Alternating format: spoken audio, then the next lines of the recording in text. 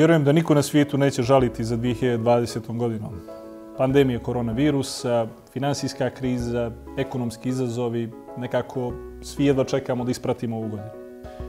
Pa ipak, upreko svim izazovima, glavni grad je nastavio intenzivno da se razvija.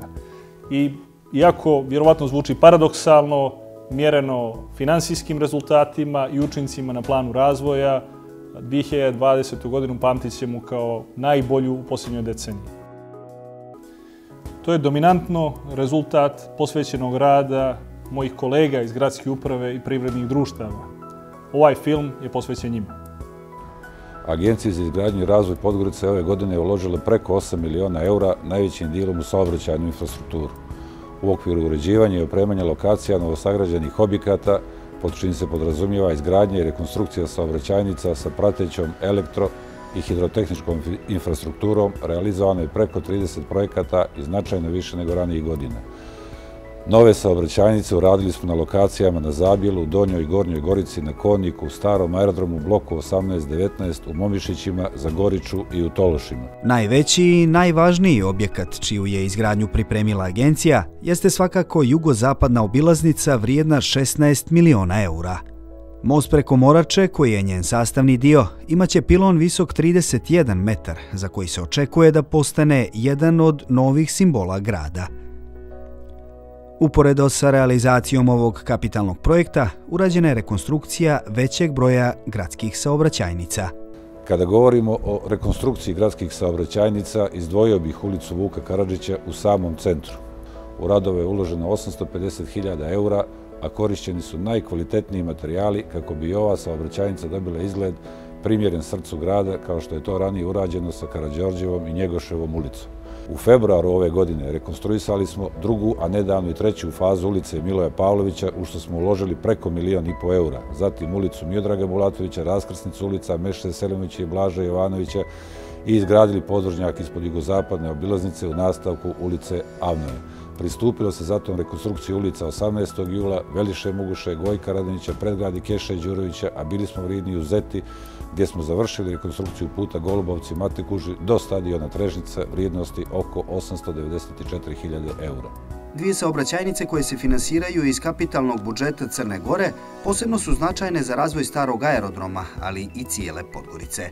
To su Bulevar Veljka Vlahovića, vrijedan oko 4,6 miliona eura, čija gradnja uveliko teče, i budući Zmaj Jovin Bulevar, vrijedan oko 1,6 miliona eura, koji je počeo da se gradi prije nekoliko dana.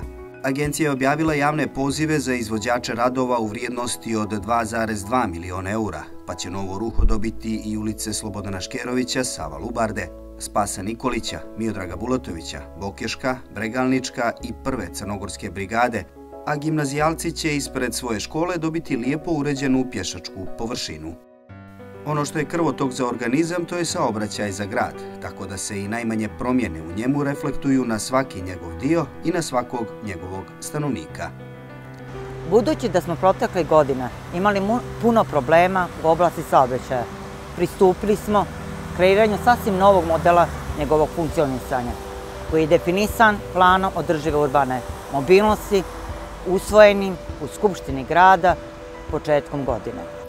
Cilj nam je da saobraćeni sistem bude efikasan i siguran, dostupan i pristupačan svima, socijalno pravedan i usmjeren ka zaštiti životne sredine. Želimo da dođe do smanjenja upotrebe putničkih automobila, modernizacije i popularizacije linijskog prevoza putnika, kao i do što veće upotrebe bicikla kao prevoznog sredstva. Posljednjih mjeseci dio Podgoričkih bulevara dobio je crvenu boju. Biciklističke staze sišle su sa trotoara na kolovoz. To možemo vidjeti u ulicama Ilije Plamenca 27. marta, Ivana Milutinovića i Kralja Nikole.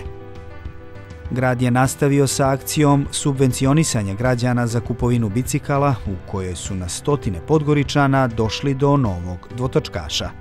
Na brojnim lokacijama postavljeni su novi parkinzi za bicikla, a urađen je i priručnik Podgorica na dva točka. Još jedan važan impuls spanjenju broja automobila jeste modernizacija linijskog prevoza putnika, na kojoj radimo sa njemačkom agencijom GIS. Polovinom godine uveli smo korišćenje elektronske karte u gradskim autobusima, koja je putnicima omogućila putovanja na više linija u periodu 100 minuta. Tu je i mobilna aplikacija ClickPass, koja olakšava snalaženje u gradskom saobraćaju. Kada je riječ o saobraćaju i mirovanju, najviše smo se ove godine posvetili digitalnim rješenjima u oblasti upravljanja parking prostorom. Otvorili smo operativno kontrolni centar u kojem se vrši monitoring svih parkirališta. Postavili smo parkomate na više novih lokacija, zatim informativne LED table na parkiralištima, a dodatno je unapređena i mobilna aplikacija Parking Service. U rad su puštena i dva nova smart parkirališta na Cetinskom putu i ulici Sedara Jola Piletića. Novi model funkcionisanja saobraćaja podrazumijeva da se uži centar grada zatvori za automobile. Počelo je od Bokeške ulice, koja je sada zona bez automobila. Pored nje zatvoren je i dio ulice Vaka Đurovića ispred gimnazije, kao i ulica Janka Đonovića koja vodi ka tornju na Dajbabskoj gori. Naravno, da bi jedan broj saobraćajnica bio pošteđen motorizovanog saobraćaja, neophodno je renovirati i modernizovati veći broj ostalih. Glavni oslonac u održavanju i unapređenju putne infrastrukture predstavlja gradsko preduzeće Putevi. Od svega što su putevi radili ove godine, izdvojio bih temeljnu rekonstrukciju nekoliko ključnih, najfrekventnijih gradskih saobraćajnica. U prvom redu tu misli na bulevar Svetog Petra Cetiskog u koju smo uložili preko pola miliona eura, a potom na ulicu Kralja Nikole, Cetinski put i dio bulevara Josipa Broza Tita ukupna sredstva uložena u radove koje je obavilo naše preduzeće iznosi blizu 3,5 miliona eura. Među saobraćajnicama koje su dobili novi izgled nalazi se i Skopska i Komska ulica, zatim ulica Vasa Rečkovića, Meše Selimovića, doktora Blaža Rečkovića, Raka Mugoše, ulica koja vodi ka Stočnoj pjaci kao i ulica 27. marta i Vojvode Elije Plamenca tu su i saobraćajnice koje nose imena Janka Đonovića, Boška Buhe, Đura Čagorovića i Arhonta Pektra. Radili smo na novom mostu na Ribnici u dužini 456 metara. Dijelom za potrebe saobraćaja i iskorjenjivanja nekih loših navika, a dijelom zbog ljepšeg izgleda, mnoge ulice i bulevari dobili su nove elemente. Postavljeni su zaštitni stubići simboličnog oblika ćiriličnog slova P, zatim zaštitne ograde između kolovoza i trotoara, a saobraćajnice ukrašavaju i brojni novi drvoredi i drugo zelenilo. Osim u gradu, veliki dio radova završili smo i na seotskom području. Rekonstruisali smo put Fundina-Zatrijebač u dužini oko 3 km, zatim put Rogami-Đurkovića Drezga, dužine 2,7 km, put u selo Liješte u Kućima, dužine 2,4 km, u Gornjoj Vrbici, također u Kućima, u dužini od 1 km, u Ćafe, u Komanima, 1 km, u selo Briđe, dužine 760 metara, put Nožica Brskut, dužine 3,5 km, putni pravac Komani Bajramovica, dužine 6,5 km. Osim saobraćaju, značajna pažnja tokom 2020. godine posvećena je komunalnoj oblasti. Pojačani nadzor nad komunalnim redom i higijenom, čiji značaj posebno dolazi do izražaja u vremenu pandemije, vodile su komunalna policija i komunalna inspekcija. Naše preduzeće Čistoća ugradilo je tokom ove godine 200 polupodzemnih kontenera različitih zapremina. Kako bi postakli građani na primarnu selekciju otpada, na kontenerima su postavljeni poklopci u plavoj i zelenoj boji za suvu i mokru frakciju, a nastavili smo i sa postavljanjem korpi za selektivno odlaganje otpada. Treba pomenuti i da smo nabavili vozilo vrijedno 220.000 eura za praženje polupodzemnih i nadzemnih kontenera. Također, značajno je unaprijeđen sistem javne rasvite. Preduzeće komunalne usluge ugradilo je preko 2000 novih rasvitnih tijela na brojnim lokacijama. Kada je riječ o radu tržnica i pijaca, novina su radovi koji imaju za cilj unapređenje prostora u okviru stočne pijace vrijedni oko 350.000 eura. Na deponiji Livade prije mjesec dana počeo je sa radom sistem sakupljanja i spaljivanja biogasa iz treće sanitarne kade. Realizacija ovog projekta je još jedna potvrda kontinuiranog ulaganja u zaštitu životne sredine. Jedna od većih investicija iz oblasti komunalne infrastrukture svakako je izgradnja kapele u Golubovcima vrijedne pola miliona eura. Najvažniji projekat u komunalnoj sferi bez ikakve sumnje jeste projekat sakupljanja i prečišćavanja otpadnih voda. Ukupna vrijednost projekta koji realizuje preduzeće Vodovod i kanalizacija iznosi preko 50 miliona eura, a njime se obezbjeđuju osnove komunalne infrastrukture, neophodne za dalji razvoj grada u narednih 50 godina, zbog čega se često kaže da je riječ o projektu vijeka. Projekat je podijeljen na četiri ciline, od kojih se tri uveliko realizuju. Jedna se odnosi na pješački most preko Morače sa cijevodom ukupne vrijednosti 1,9 miliona, dok druga obuhvata izgradnju primarnog kolektora vrijednog 6,6 miliona. Radove u oba slučaja na javnom pozivu je dobilo preduzeće BEMAX. Treća cijelina, čija je realizacija također u toku podrazumijeva izgradnju sekundarne kanalizacijone mreže vrijedne 3,3 miliona eura, kojom omogućavamo priključenje velikog broja objekata za individualno stanovanje. Kada je riječ o četvrtoj cijelini koja obuhvata izgradnju postrojenja za tretman otpadnih voda, postrojenja za tretman mulja i postrojenja za spaljivanje mulja, u toku je tenderska procedura koja obuhvata proces predkvalifikacije i pripremu kvalifikacijonog dokumenta sa ciljem potpisivanja ugovora o projektovanju izgradnje. Pored aktivnosti na ovom projektu, vodovod je bio posvećen i poboljšanju sistema vodosnabdijevanja. Potpuno nov ili rekonstruisan sistem i mrežu vodosnabdijevanja dobili su Doljani, Zlatica, Kakaricka gora, Masline, Gornja Vrbica, Velje Brdo, Lješanska nahija, Mojanovići, Golubovci i Ponari. Jedan od prioriteta rada gradske uprave jeste povećanje površina pod zelenilom. Tokom ove godine uređen je i rekonstruisan veći broj zelenih površina u ulici Mira, u Perojskoj ulici, skver u Dalmatinskoj ulici, ulici Oktobarske revolucije, na Bulevaru revolucije, izgrađen je i novi Podgorički park na obali Morače, a do kraja godine Podgorica će biti bogatija za park na starom aerodromu i u Zagoriču. Drveće kao nosilac zelenih površina, kako u funkcionalnom, tako i u estetskom smislu, kod nas zavređuje poseban status, te shodno tome formirali smo 15 novih drvoreda, a najzačajniji među njima su na Cetinskom putu, ulici Ilije Plamenca i 27. marta, Ibrahima Dreševića, Đorđa Vašiktona, Svetlane Kane Radević i na drugim lokacijama.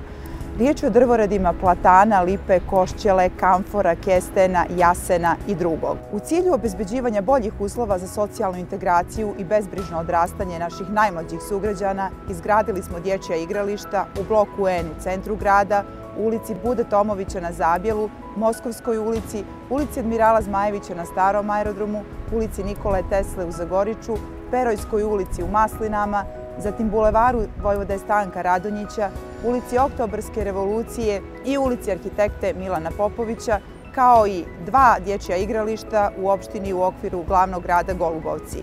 Izgradili smo jedno dječje igralište u opštini Danilovgrad, a koje je poklon glavnog grada toj opštini. U saradnji sa glavnim gradskim arhitektom u okviru projekta Mikro 020 uredili smo šest lokacija, a hortikulturno smo uredili i razdjelna ostrva i zelene trake na bulevaru Svetog Petra Cetinskog, razdjelna ostrva i četiri kružna toka na bulevaru 21. maja, kružne tokove u bloku 5 i ulici Maša Đurovića. Ove godine pokrenuli smo i akciju sa skupštinama etažnih vlasnika u okviru koje smo pejzažno uredili zelene površine ispred 28 stambenih zgrada. Pored zelenih površina i brojne fasade stambenih zgrada zablistale su novim sjajem, bilo da je riječ o novim muralima ili osvježavanju boja, budući da je Agencija za stanovanje i tokom ove godine nastavila akcije za ljepše lice Podgorice i poboljšanja uslova stanovanja. Kroz akciju za ljepše lice Podgorice na 25 objekata s obnovljene fasade izdvojio bih radove ulicama Novaka Miloševa i Jovana Tomaševića na bulevaru Ivana Crnevića kao i ulicama Vasa Ričkovića i Bratstva jedinstva. Kroz akciju poboljšanja uslova stanovanja sanirani značajan broj fasada i krovova izvršen uređenju unutrašnjosti ulaza. Značajan iskorak napravljeni kada je stanje sportske infrastrukture u pitanju, adaptiran je veliki broj poligona kroz partnerski odnos glavnog grada i privrednih društava grada, ali i Futbolskog savjeza Crne Gore, Ministarstva sporta i mladih i Odbojkaškog savjeza Crne Gore.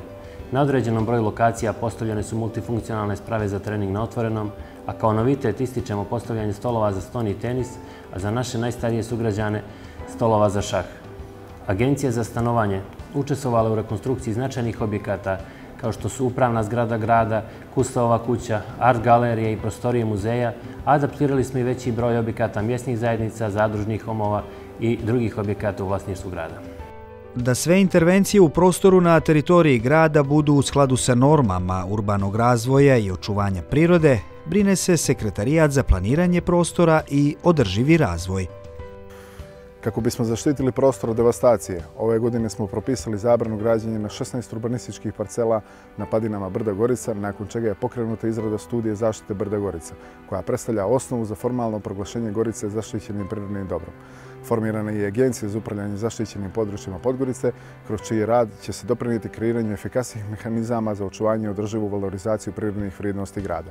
Nastavili smo i sa integralnom zaštitom Parka prirode Rike Zete, gdje je propisana zabrana građenja u drugoj i gradnja sa ograničenjem u trećoj zoni zaštite. Veliku pažnju ove godine privukla su više od deceniju stara planska rješenja za prostor ispod Brda Ljubović, kojima stanari ovog naselja nisu bili zadovoljni. Zato je glavni grad stavio van snage detaljni urbanistički plan za Bilo Ljubović, čime je i na ovom prostoru zabranjena gradnja sa namjerom da se on obogati sa više zelenila. Završili smo izradu prve faze katastra zelenih porušina Podgorice, kojim je sveobuhvatno sagledano stanje zelenih porušina na dilu teritorije glavnog grada koji je obuhvaćen ovom fazom s ciljem uspostavljanja adekvatne osnove za upravljanje zelenim fondom. Izradu ostalih faza katastra nastavit ćemo tokom naredne godine. U 2020. godini donijeli smo još dvije odluke značajne za upravljanje prostorom i to odluku o naknadi za komunalno opremanje građevinskog zemljišta i odluku o naknadi za urbanu sanaciju. Jedna od strateških politika glavnog grada jeste podrška razvoju preduzetništva i poljoprivrede. Za tu svrhu tokom ove godine utrošeno je blizu 600.000 eura – Pored toga, Skupština glavnog grada donijela je nekoliko važnih odluka u vezi sa proglašenjem biznis zona u kojima su predviđene olakšice za poslovanje, kao i odluku o davanju u zakup poljoprivrednog zemljišta radi posticaja poljoprivredne proizvodnje. Kao podrška kreativnim preduzetnicima putem konkursa opredjeljeno je 30.000 eura. Korisnicima kredita također obezbijeđeno je i korišćenje besplatnog štanda u Delta City-u. Za podršku u ženskom preduzetništvu kroz dva konkursa izdvojeno je 40.000 eura. Među biznis idejama koje su podržane su izrada unikatnih predmeta od kože, suvenirnica, dizajn i proizvodnja unikatnog nakita i drugo. Dodatna sredstva u iznosu od 50.000 eura dodijeljena su kroz konkurs za podršku biznis idejama na području Stare Varoši kroz program mjera za posticanje razvoja poljoprivrede i ruralnih područja koje su podrazumijevale premije u mljekarstvu, podršku žetvi i razne vrste sponzorstva namijenjene pčelarima, lovcima i cvjećarima dodijeljeno je 335.000 eura. Također, kao podršku ugostiteljima zbog teškoća uzrokovanih smanjenjem obima posla, usled pandemije opredijelili smo 80.000 eura. Djelatnost kulturnih poslenika na svim meridijanima vjerovatno najviše trpi posljedice pandemije, pa je takav slučaj i u Podgorici. Ipak, uzimajući u obzir okolnosti, održan je solidan broj kulturnih manifestacija za sve ukuse. Osim toga, radilo se i na izgradnji i opremanju objekata kulture. Pored izgradnje gradskog pozorišta koja je u toku, rekonstruiše se Kusleova kuća koja će sljedeće godine biti stavljena u punu funkciju. Adaptira se izložbeni hol muzeja i galerija, a fazno se oprema i ljetnja scena. U saradnji sa Centrom za arheologiju i konzervaciju započeto je arheološko istraživanje Medunske tvrđave, U izuzetno složenim epidemiološkim okolnostima uspjeli smo da organizujemo tradicionalne manifestacije kao što su Dan najbolji Podgoričko kulturno ljeto i šesti internacionalni sajam knjiga, kao i brojne individualne programe. Podgoričko kulturno ljeto obuhvatilo je preko 60 uspješno realizovanih kvalitetnih programa iz oblasti muzike, književnosti, filmske, dramske, likovne, alternativne umjetnosti i multimedije, koji su predstavljeni Podgoričkoj publici tokom više od tri mjeseca trajanja manifestacije. Čime smo dokazali da i u vanrednim okolnostima kulturna scena i kulturna produkcija mogu biti izuzetno žive, bogate, raznovasne i dostupne građanima. Uz podršku Sekretarijata za kulturu održani su i festivali Underhill, Fiat, Made in New York Jazz Festival, manifestacija Party Bus i veliki broj drugih programa. U organizaciji Dječjeg saveza i ove godine održan je festival Dječje pjesme Naša radost 2020. Gradsko pozorište imalo je pet premijera ove godine. U okviru prvog festivala Ruta ugostilo je pet regionalnih teatara, a realizovan je i prvi internet regionalni teatar za djecu PIR festival. Kids Buda Tomović, između ostalog, organizovao je petu regionalnu manifestaciju kamernih dramskih ostvarenja Makado. Obilježena je peta godišnjica postojanja foruma mladih pisaca Kitsa, a i organizovan deveti međunarodni ljetni kamp za kamernu muziku. Narodna biblioteka Radoslav Ljumović u takućoj godine realizovala je brojne književne programe u okviru Trebine. Aktivan je bio i Kids Zeta. Muzeji i galerije Podgorice su organizovali veliki broj izložbi različite tematike. Sportisti i rekreativci Podgorice imaju razloga da ovu godinu zapamte i po značajnim unapređenjima uslova za bavljanje sportom. Nakon izvršenih radova na rekonstrukciji i adaptaciji otvoreni su i pušteni u rad stadion malih sportova pod Goricom, košarkaško igralište u Njegošom parku i poligon za mali futbal u sklopu sportskog centra Morača. Otvaranjem i puštanjem u rad ovih objekata u značajnoj mjeri je poboljšana sportska ponuda Podgorice. Preduzeće sportski objekti u mjeri mogućeg, s obzirom na situaciju sa virusom korona, obezbeđivali uslove za održavanje manifestacije u gradu po svim pravilima međunarodnih i nacionalnih sportskih asocijacija. Pored stvaranja što boljih uslova za one koji imaju smisla za bavljanje preduzetništvom, glavni grad punu pažnju posvećuje obezbjeđivanju pomoći za članove društva koji su se iz jednih ili drugih razloga našli u situaciji socijalne potrebe. Glavni grad je osnivač ustanova u oblasti socijalnog staranja i to javne ustanove za smještaj, rehabilitaciju i resocijalizaciju korisnika psihoaktivnih substanci, centra za pružanje usluga iz oblasti socijalne i dječije zaštite za opštinu u okviru glavnog grada Golubovci, dnevnog centra za djecu sa smetnjama u razvoju i dječijeg saveza, a očekuje se otvaranje doma za stare u Podgorici i početak gradnje još jednog u Golubovcima. Pored socijalnih servisa koji se redovno obezbjeđuju u postojećim ustanovama, glavni grad preko Sekretarijata za socijalno staranje obezbjeđuje još čitav niz usluga za one kojima je potreban neki vid pomoći. Tokom ove godine obezbijedili smo uslugu pomoći njege u kući za 123 stara lica. Dnevno smo u Narodnoj kuhinji dijeli oko 600 besplatnih obroka i obezbijedili preko 2500 paketa za novorođenčad.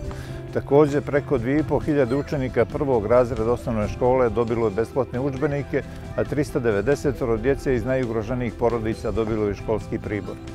Obezbijedili smo i dvije besplatne stambene jedinice za dva korisnika odrasla u domu za djecu bez roditeljskog staranja.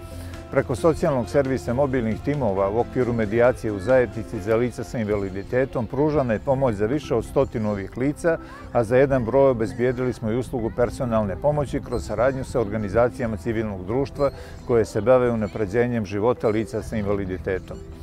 Glavni grad je isto tako potpisnik memoranduma o razumijevanju sa Savjetom Evrope i Ministarstvom za ljudska i manjinska prava u okviru regionalnog projekta Romaktid, a sve u cilju osnaživanja romske i egipćanske zajednice na lokalnom nivou. Kvalitetnu saradnju u nizu projektata iz oblasti edukacije i promocije ljudskih prava i sloboda ostvarili smo sa gotovo svim LGBT organizacijama koje su aktivne u glavnom gradu. U okviru servisa za pomoć beskućnicima mjesečnu pomoć od po stotinu eura trenutno dobijaju četiri korisnika. Gradska uprava iskazuje puno poštovanje i zahvalnost za ono što je doprinos radnika u funkcionisanju sistema glavnog grada, pa smo tako u maju podijelili ključeve od 82 stana kolegama iz vodovoda, u oktobru 88 stanova zaposlenima u čistoći, a nastavljamo sa tom praksom u narodnoj godini za zaposlene u ostalim privrednim društvima. Nismo zaboravili ni najugroženije, tako da će se nakon usvajanja nove odluke o rješavanju stambenih pitanja lica u stanju socijalne potrebe nastaviti praksa iz prethodnih godina i dodjela stanova na korišćenje i ovim najusjetljivijim kategorijama naših sugrađana.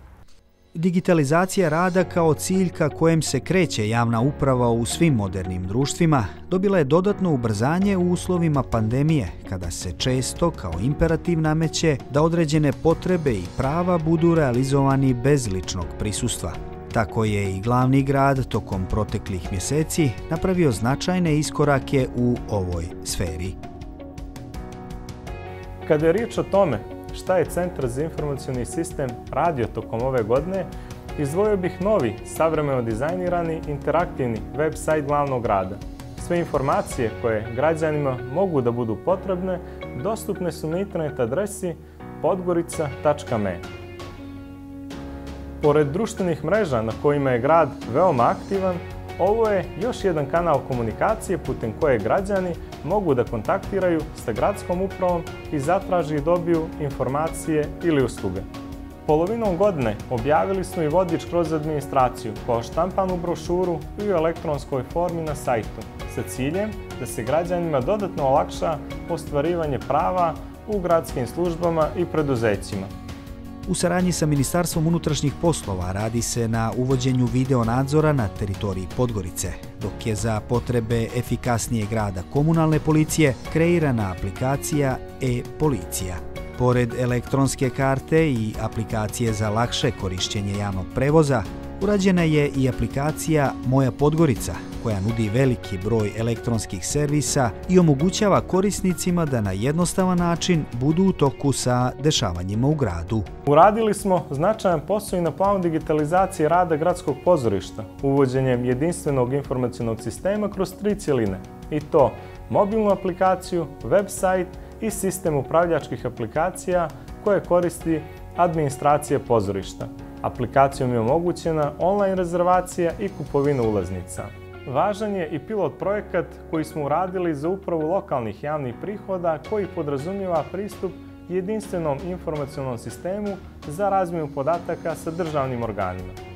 Svoj doprinos u vremenu pandemije koronavirusa dali smo u vidu 3D štampe zaštitnih vizira koje smo donirali institucijama kojima su bili potrebni. Konačno, u saradnji sa Sekretarijatom za socijalno staranje, pripremili smo upotrebu senior kartica, pomoću kojih naši najstariji sugrađani mogu da ostvaruju značajne popuste prilikom kupovine. Osim na Facebooku, Instagramu i Twitteru, komunikacija sa glavnim gradom od ove godine moguća je i putem Vibera. Na ovaj način, rad gradske uprave neprekidno je otvoren za direktan uticaj, provjeru i kontrolu od strane građana. Jedna od gradskih službi kojoj svi želimo da ima što manje posla jeste služba zaštite i spašavanja. Služba zaštite i spašavanja usposobljena je i tehnički i kadrovski da sprovede sve aktivnosti i poslovi iz svoje nadležnosti.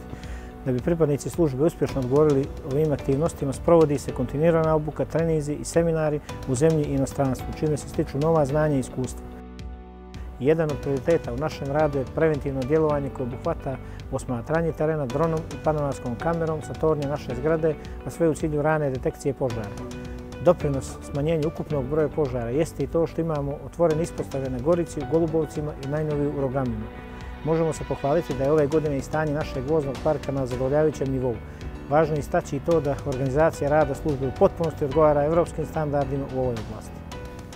Sve odluke gradske uprave i tokom ove godine, u skladu sa zakonom i demokratskom tradicijom, prolazile su i provjeru 61 odbornika koje su građani izabrali da ih predstavljaju u Skupštini glavnog grada. Transparentnost rada Skupštine kao najvažnijeg organa u funkcionisanju sistema lokalne samuprave od ove godine je još veća, jer se sjednice Skupštine glavnog grada mogu pratiti preko internet streaminga. Internet streaming omogućava gledalcima da nezavisno od platforme koju koriste prate sjednicu Skupštine uživo, što omogućava da se sjednice Skupštine glavnog grada mogu pratiti putem mobilnih uređaja gdje god se nalazili. Ovo je bilo jako značajno za Skupštinu jer smo na ovaj način omogućili da značajno poboljšamo rad Skupštine glavnog grada kao i da zbog novonastale situacije pandemije COVID-19 omogućimo da svi mogu pratiti rad Skupštine. Ovo je doprinio da spremno dočekamo nove izazove koje nosi novonastala situacija i da nesmetano i bez problema nastavimo sa radom jer ipak Skupština glavnog grada ima 61 odbornika i na Skupštini učestvuje i na desetine obrađivača koji su pratili sjednicu Skupštine iz više sala – uživo po preporukama NKT-a. Imali smo slučajeve da odbornici koji su u samoizolaciji putem videolinka učestvuju u radu parlamenta. Jedna od novina u funkcionisanju parlamenta je i to što smo izmjenom poslovnika u cilju veće transparentnosti i kontrole rada definisali posebna zasjedanja posvećena pitanjima odbornika i odgovorima gradske uprave. Programom rada za 2020. godinu predviđene su 50 tri teme, od čega je realizovano više od 60%. Usled novonastalih situacija i potreba lokalne zajednice, Skupština glavnog rada je realizovala i 82 teme koje nisu bile predviđene programom rada. Posebno mi je zadovoljstvo što mogu da kažem da su sjednice uprkos povremenim oštrim neslaganjima i polemikama predstavnika vlasti i opozicije, ipak proticale u znaku tolerancije, uvažavanja i kolegijalnosti. 2020. je bila teška, izazovna i prilično sam siguran da nas slične stvari čekaju u narednoj godini. Pa ipak, ja sam optimista. Ako smo mogli u teškoj godini koju ispraćamo postići sve ovo o čemu ste čuli, nemam nikakvu dilemu da sa ovakvim timom mi možemo još i više u narednoj godini. Tako da će Podgorica u 2021. dobiti i nove mostove, i nove bulevare, i nove parkove i dječje igralište. I skupa sa vama učinit ćemo naš grad još ljepšim i još boljim mjestom za život.